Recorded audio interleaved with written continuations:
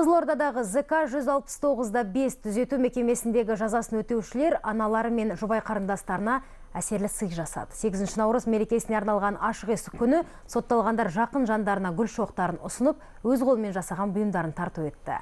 Әзиз ананы баласымен, ерді әйелімен қауыштырған ілтипаты мол шараға біздің түсіру тобымызда куә болды.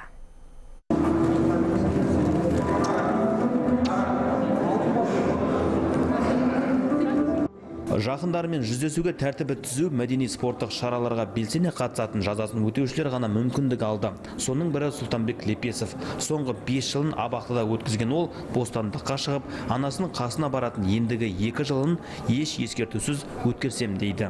Мамамды енді сағындым, сол мекеме қызметкерлерінің арқасы осы мекеме әкімшілігінің мүмкіндік беріп кездестіріп, анамызбен сағынышымызды басып жатқанымызға ризамыз. Баламды сағынып, құшақта мауқымды басып жатырмын. Үйде күтіп отырмын аман есен оралса дейміз әйтеуір.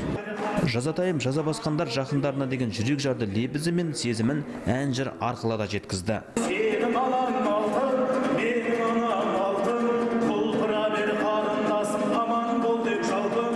Шарада облыстық кітапхана ұжымы сотталғандарға 500 кітап сыйлады. Түзету мекемесінде жалпы рухани тәрбиелік мән зор шаралар жиі ұйымдастырылады.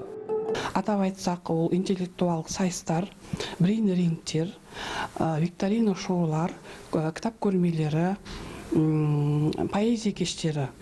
Әртүрлі тақырыптарда мысалы білім ырыс қазығы білім биіктегі алтын тұғыр мың бір мақал жүз бір жұмбақ сан сұрақтарға саяхат. 2018-ден бастап біздің мекеме қауіпсіздігі аралас болып мекеме болып аталды.